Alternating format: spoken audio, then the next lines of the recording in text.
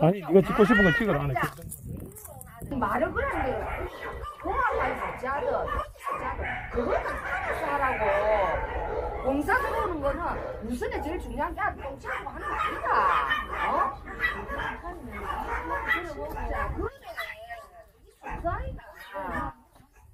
뭐 조금 정신을 챙기고 와가지고 같이 앉아갖고 언니들 뭐 와, 그래 저기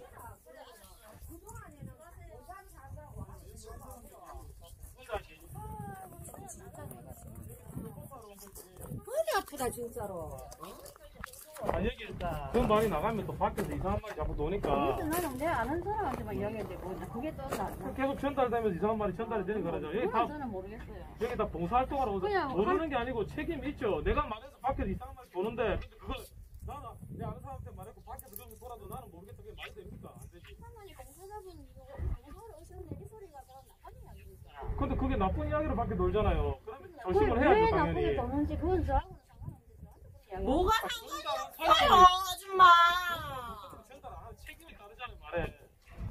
내 아는 지인한테 아유 하나님 봉사자분들이 봉사하고. 이 소리 그 사람한테 물어보세요.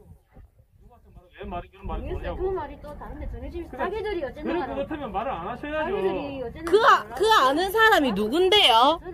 봉사자 하나님 봉사자 그 아는 사람이 누군데요? 오셔갖고 청소를 하고 있는데 이 소리를 그거 그 소리밖에 안.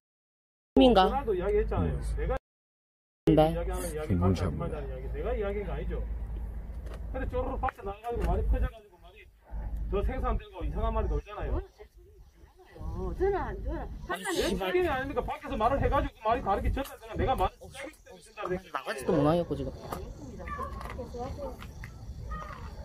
그 여기 온 사람들은 다 도우러 온 사람들이지 다른 생각으로 온 사람 없어요. 아이고 진짜로.